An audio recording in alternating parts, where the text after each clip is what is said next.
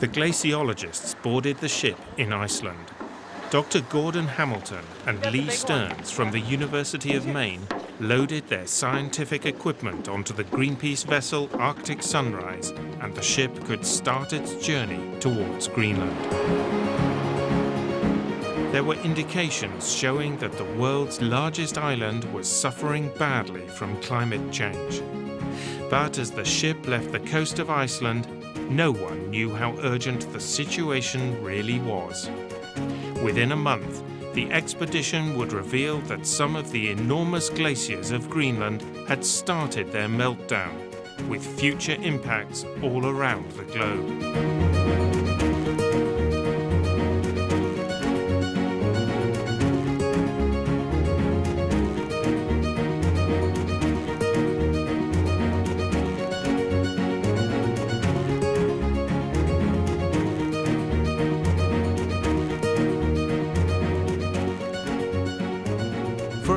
Outside viewer, Greenland is a vast frozen land.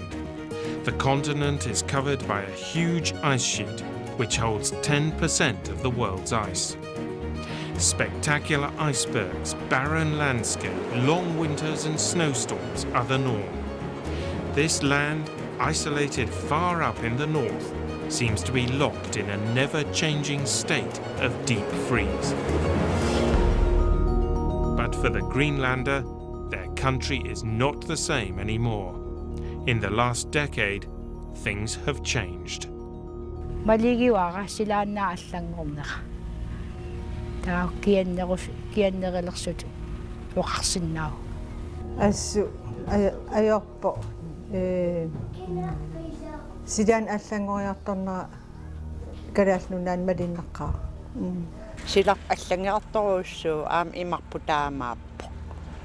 анериссиалик киатситтарпо таамату сорпаарлакаяаттут итта иппут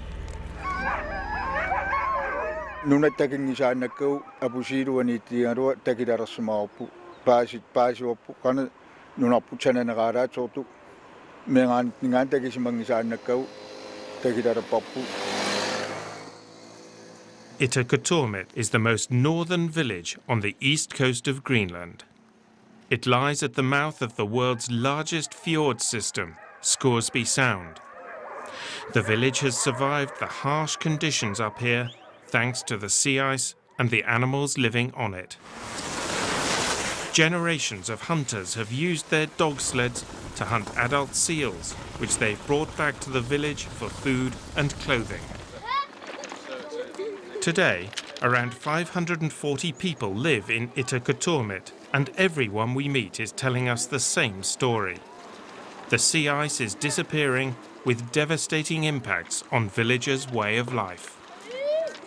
mani wa chi topwa ata chimpamingani kamat sigu silikang dar tapu hiye tamata sigina sa tapu e eh, ugie chak tamat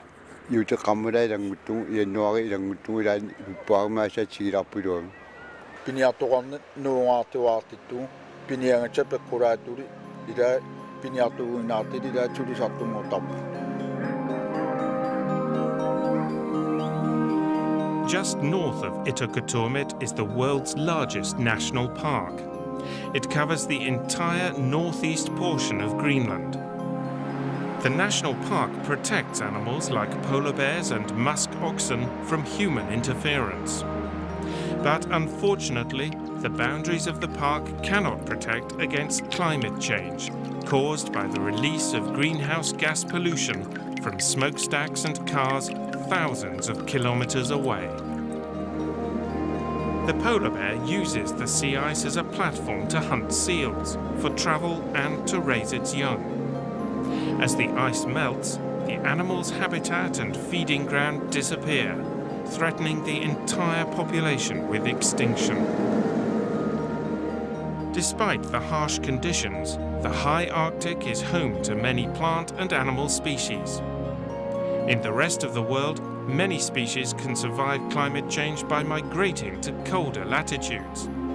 But this is the end of the road, and the wildlife here have nowhere to go when the temperature rises.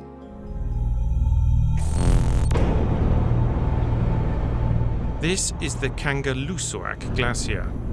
When these images were taken, it was just an ordinary glacier. But one week later, the state of Kangerlussuaq was thrust into headlines all over the world. The glacier had turned into an alarm bell for the melting Arctic.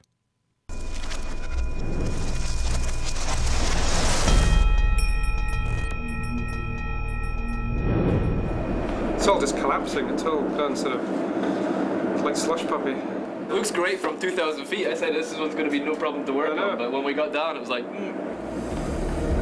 Yeah. The Arctic sunrise has arrived in the fjord leading to the Kangerlussuaq Glacier. No, no, we're gonna go. NASA-funded scientist Dr. Gordon Hamilton and PhD student Leigh Stearns have studied earlier satellite photos of the glacier and prepared a grid of points to measure the speed of the ice flow. But when they see the glacier from the helicopter, they realize they have to rethink their approach.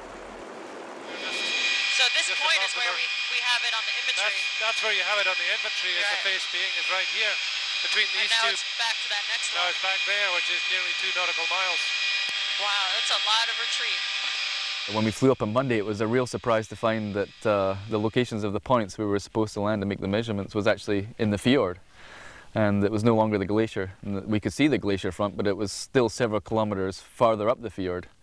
Um, so we know that it's uh, retreated um, about five kilometers since the last satellite images that we looked at um, about three or four years ago. Look at that ice. Oh my gosh. It's like it's just been deflated. Well, over here, we Oh, measured it this morning from the moraine to the base of the ice. Yeah. It's dropped a thousand feet. Holy smokes. Kangerlussuaq Glacier is one of the large outlet glaciers in southeast Greenland. It's 7.5 kilometers wide and 1 kilometer thick. To get a sense of the scale, two Manhattan Islands would fit on this glacier. Although it might be difficult to grasp, this vast mass is moving.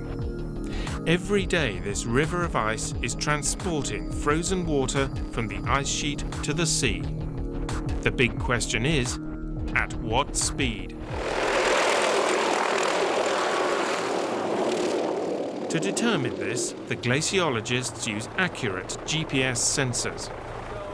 Here, close to the glacier's front, the terrain is a chaos of crevasses and seracs formed by the enormous forces generated as the ice moves. The only way to get access to the glacier is by helicopter, and even that's a risky business. Therefore, there are few studies made this close to the glacier's front. Glaciers are like huge conveyor belts that draw ice from the interior of the ice sheet and move it towards the ocean. Once the ice reaches the ocean, it contributes to sea level rise around the globe. As glaciers speed up, they move more and more ice from the ice sheet to the ocean. And once the glaciers have gained speed, it may be impossible to slow them down. There's a possibility that there's a runaway feedback cycle might begin, that would start to uh, collapse the ice sheet very rapidly in ways that we don't yet uh, aren't, don't yet appreciate, um, and that could uh, remove a large amount of the Greenland ice sheet quite quickly. So that's day one. Back at the ship, the scientists calculate the glacier's speed. The result is shocking. Yeah.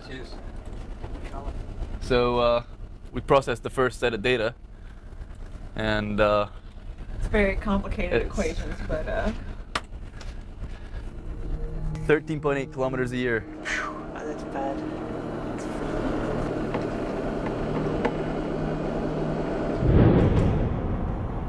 The result is later calibrated to 14.1 kilometers a year, or 38 meters a day. Kangerlussuaq has thereby tripled its speed from 1996. That makes it one of the world's fastest moving glaciers. And it turns out it's not the only glacier speeding up.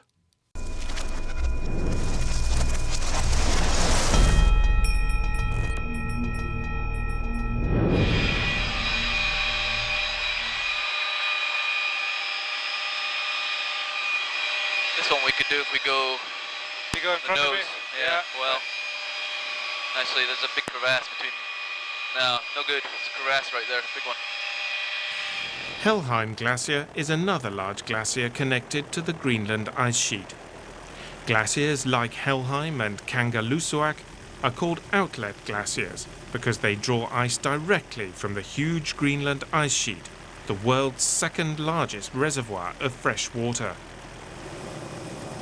The terrain is so jagged that it's difficult to conduct the measurements. Greenpeace pilot Hugh Balfour Paul has to use all his skills and concentration to find safe spots to land the helicopter. I'll just set it up right out here. All right.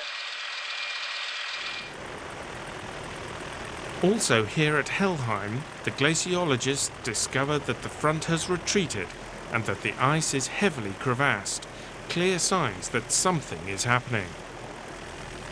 Large amounts of meltwater have formed a system of lakes, which indicate that the surface has been melting fast. When the glaciologists have analysed the results, it's clear that a race of the glaciers in southeast Greenland has begun. Helheim Glacier has increased its speed to more than 11 kilometers a year, about 40% faster than the previous measurement in 2001. The Greenpeace videographer on board decides to capture the ice flow on tape. He films Helheim Glacier for 8 hours and then compresses it into 10 seconds. In the sequence you're about to see, the movement is obvious.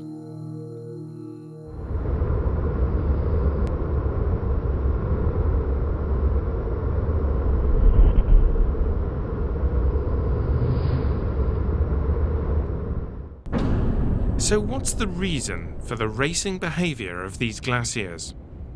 The most likely explanation can be found in the blue lakes of meltwater. One of the concerns is that uh, as the climate warms, you get more meltwater production on the surface, and that this meltwater can reach the uh, bed of the glacier and actually lubricates the flow of the glacier over the, over the, over the bedrock, and it can actually move faster, so that it actually speeds the glacier up.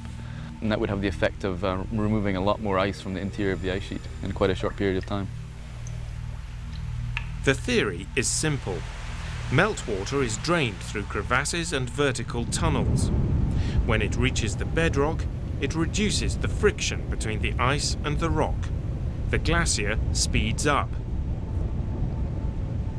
All the models that have been done before on the future of the Greenland ice sheet need to be recalculated, taking into account that these glaciers are transporting that enormous masses of ice out into the ocean. Dr. Gordon Hamilton and Leigh Stearns also measured three glaciers in the Scoresby Sound area, 230 kilometres north of Kangerlussuaq. They showed no signs of dramatic changes in speed. Yet. The fear is that as temperatures increase also further up north, that those still healthy glaciers will also show those reactions, and that will have then even more impact on future sea level rise if a lot of glaciers start, um, outlet glaciers start to speed up and transport more mass through them, then the ice sheet's going to uh, lose mass in the interior. And that's going to translate into a, a, rise in sea levels. Once the icebergs come off the end of this glacier, that, that's their contribution to, to sea level rise.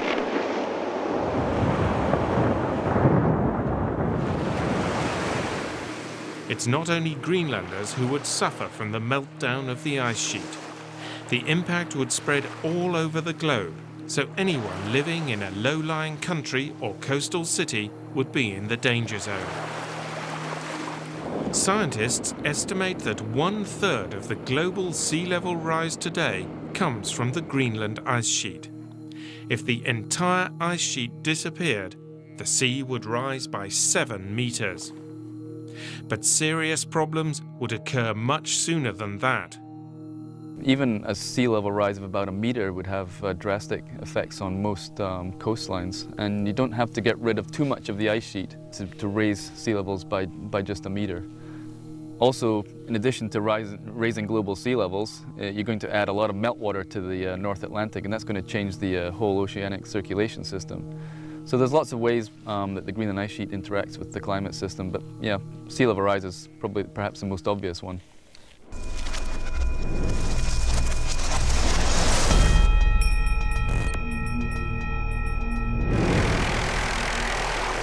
Dr. Hamilton and Leigh Stearns had finished their studies and were replaced on the Arctic Sunrise by another NASA funded scientist, Dr. Jason Box from Byrd Polar Research Center in Ohio. He has gone on expeditions to study the Greenland ice sheet every year for the last 12 years. Dr. Box put together an ice core drilling team from the ship's crew and started to look for information hidden in the annual layers of the ice sheet. We got core. We've drilled down to last summer's melt layer at four meters. All of the snow that's above this thick ice layer is going to represent the snow accumulation uh, over the last year. So we're going to have a fairly accurate measurement of how much water has come out of the sky and been deposited on the ice sheet. The ice sheet works pretty much like syrup. As the snow falls at higher elevations, the ice sheet builds up mass. The force of gravity slowly moves this great mass of glacial ice towards the coasts. Since the last ice age, this system has been in balance. The ice that is lost from the glaciers is returned once again to the ice sheet as snowfall in a constant cycle. But the speeding up of the glaciers has disturbed the balance.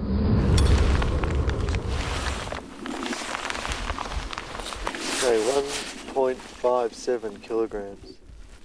1.57. Dr. Box's studies and other ice core measurements indicate that there's been an increase in snowfall, but not enough to compensate for the enormous amounts of ice being removed through the glaciers. The Greenland ice sheet is losing mass into the ocean at an alarming rate. At least 100 cubic kilometres of water each year, according to Dr. Box's mass balance calculations. That's 100 billion tonnes, or the weight of half a million oil tankers each year. Some scientists estimate that the actual figure is twice that much. Dr. Box's analyses of the ice cores reveal another interesting fact. The layers from 2003 show there was a lot of rainfall when there should have been snow. This is a clear sign that the temperatures have gone up. A few days later, Dr. Box receives data through the satellite phone email. He's managed to gather 42 years of temperature data from six locations around Greenland. Yeah, when I look around Greenland at all of the stations collectively, there's a similar pattern of warming over the past 20 years in all seasons at all stations, north, south, east, west. In East Greenland, for example, there's been a 6 degrees Celsius warming in the autumn season. What alarms Dr. Box most is the fact that the temperature increase is so consistent around Greenland on both the east and the west coasts. Considering the whole 42 year record, warming is the dominant signal, despite some periods of cooling. Therefore, this warming doesn't seem to be part of a natural cycle, but a clear sign of climate change.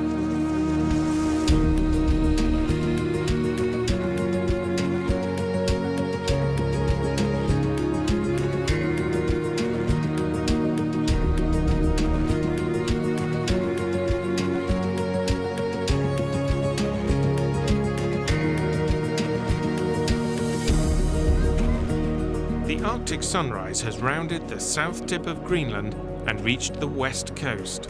This is the most populated area in Greenland. For the local inhabitants, Dr. Box's results only confirm what they already know. The climate has warmed dramatically, and the effects can be found everywhere. We meet four generations of women gathered in Nuuk. Six year old Laura soon begins her first day at school. This is an important event in a girl's life, and great grandmother Charlotte has arrived to finish Laura's traditional outfit.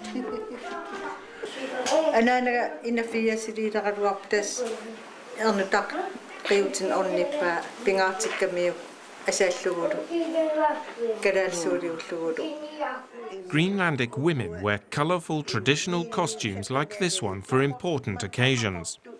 Traditional boots, kamiks, are handmade out of thin processed seal skin. Sidan allangoriartornera pissutaalluni kadaallin atisaliorn asmassak ajarnakusartoriusoorsoorlu kadaallunaan eh, nuna isuani. Nuna eh, sida kiattarnam ukiukku taava amarni amarn sulina as ajarnakusoorpo аариагерсимасими э аммерифеқартарами писариақартитсиппу галуарпугут кися амигаатигарпуэққеқ укиими тан уа аамтааруспаа арнарпассуаси амигаатигаагаарпу аммерисарни Niels Gundel from Ilulissat takes us out in his boat. He fishes in the summer, and in the winter he hunts seals from his dog sled. But the thin sea ice has made dog sled travel dangerous.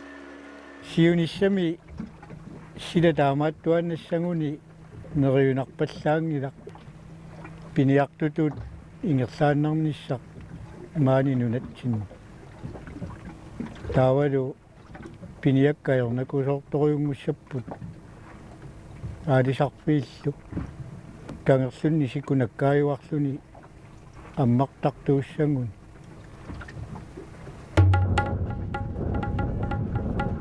Throughout history, the Inuit have been good at adapting to changes. Lack of animals and hard winters have forced the hunters and their families to move around to find food. But today, the society is different. To cut costs, the authorities have closed down the smallest communities and local people have been relocated to apartment blocks like this one. Here, unemployment and alcoholism are big problems. Many believe that climate change could make these problems even worse and that the entire hunting culture is at stake. Med klimaændringen, der vil øh, den befolkningsgruppe øh, flytte til andre øh, steder, i, i, i hvert fald byerne, som øh, klimaflygtninge, hvis man kan sige det på den måde. Og det bliver en befolkningsgruppe, som er socialt øh, deklassificeret i de samfund, som den kommer til. Og deres kultur vil blive, øh, øh, som bygger på fangekulturen, den vil øh, blive et øh, museumsgenstand.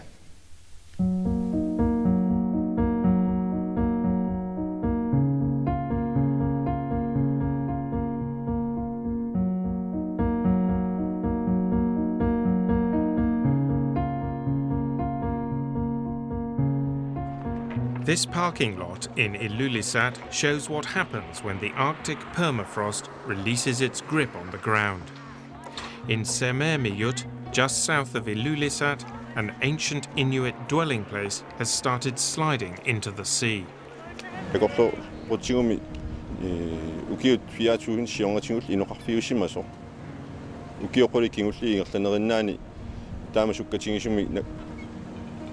нууккиарторлуни сисуиарторлуни писиннааппат укиуфиаатугинтина атасиннарлуни писсутсит аёрлуинартами иниссимассаппу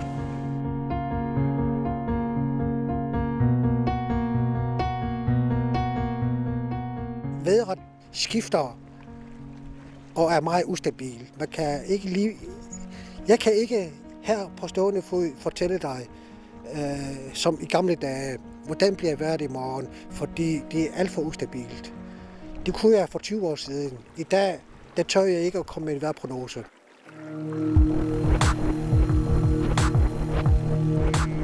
This is by far the most popular tourist attraction in Greenland, the Jakobshaven Glacier on Greenland's west coast. People from all over the world come to visit this spectacular landscape of ice and snow. It's famous for being the glacier that holds the world record of producing icebergs. And it's moving faster and faster. Between 1992 and 2003, it more than doubled its speed to 12.6 kilometers per year.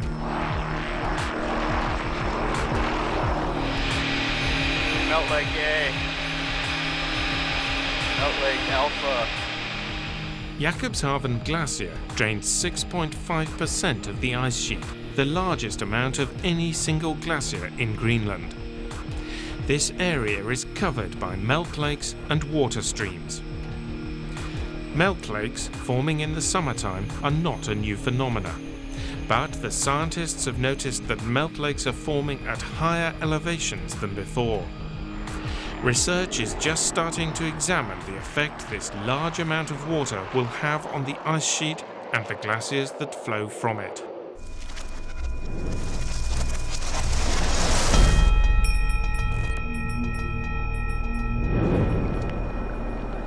The Arctic sunrise has reached Kervane harbour north of Ilulissat. It's seven weeks since the ship departed from Iceland. There's one project left before the expedition comes to an end. We can observe melt lakes from space using satellite images, but we, to understand how much water is there, the volume of water, we need to make observations at the surface to really know what we're looking at. That way we can interpret uh, what we see in the satellite images. What we plan to do is take an inflatable boat with the helicopter up to the melt lakes and use echo sounding to measure depth across these lakes. The team decides to start with one of the larger lakes. It's 1.4 kilometers in diameter, and there's a river leading from the lake into a deep crack in the ice called a moulin. From there, the water falls straight into the unknown. Somewhere between here and you know 40 kilometers away, it's getting to the bed and uh, helping this ice sheet flow faster. You can really hear the, the sound of the water bubbling in this crack. In Ilulissat, Arctic Sunrise crew member and boating expert John Hulscher has borrowed an inflatable small enough to fit into the helicopter. He and Dr. Box have equipped the inflatable with a depth sounder and a GPS. In 20 minutes, they transform the dinghy into a scientific tool ready for launch.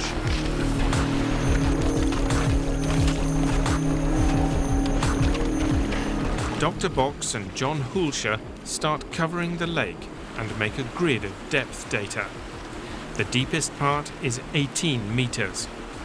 High above their heads, a NASA satellite captures a new image of the lakes. When Dr. Box later compares the data grid with the satellite image, there's a clear pattern between the color on the image and the depth of the lake. This information will make future studies much easier because scientists will be able to calculate the lake's volume from space using satellite images. The amount of meltwater is one piece in the mastermind puzzle that can give us answers as to how the ice sheet reacts to climate change. The speeding up of the glaciers has added a new sense of urgency in the search for answers. I didn't expect the temperature trends to manifest themselves this clearly in ice sheet acceleration. It, we know that the temperatures have gone up, but to see this rapid response has been a surprise to the science community. At the same time that Dr. Box finished his studies on the melt lakes, environment ministers from all over the world held a climate meeting in Ilulissat. Inspired by the Jakobshavn Glacier just around the corner, the ministers struggled to unite. Powerful international agreements and cooperation to reduce greenhouse gases is the only thing that can save us from a melting Greenland. But today, this political process is way too slow to keep up with the racing glaciers. In the two months that we've been traveling around Greenland collecting information about the melting ice sheet, the glaciers that are moving faster into the sea, and how this all impacts people's lives, it's become very apparent that Greenland is in crisis and we absolutely have to do something meaningful to stop global warming. For the people living in Greenland, the situation is urgent and they have a clear message for the rest of the world.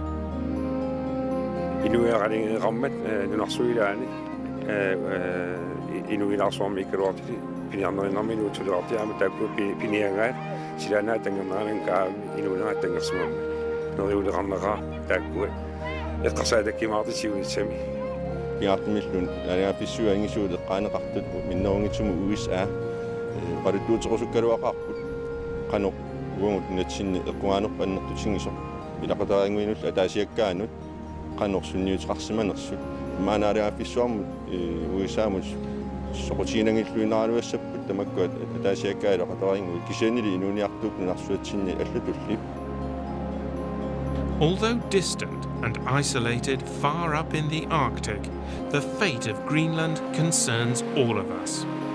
The ice sheet in Greenland influences much of the Northern Hemisphere's weather and locks up 2.7 million cubic kilometres of frozen disaster.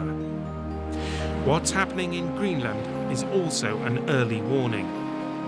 It's there right now, flashing red in front of us. The big question is what are we going to do about it?